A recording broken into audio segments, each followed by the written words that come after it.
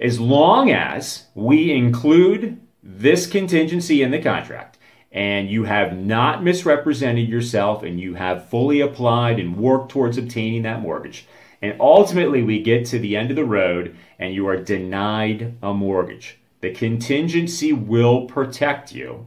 The contract could be canceled and the deposit shall be dispersed in accordance with the deposit paragraph in the contract. So it is another layer of protection.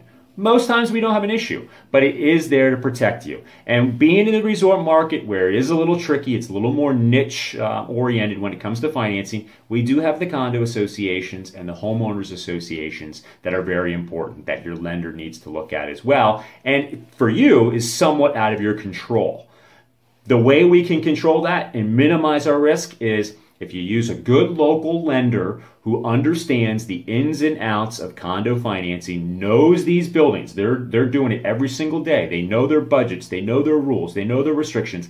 They're going to have a much greater and easier chance of getting that condo building and or homeowners association building approved.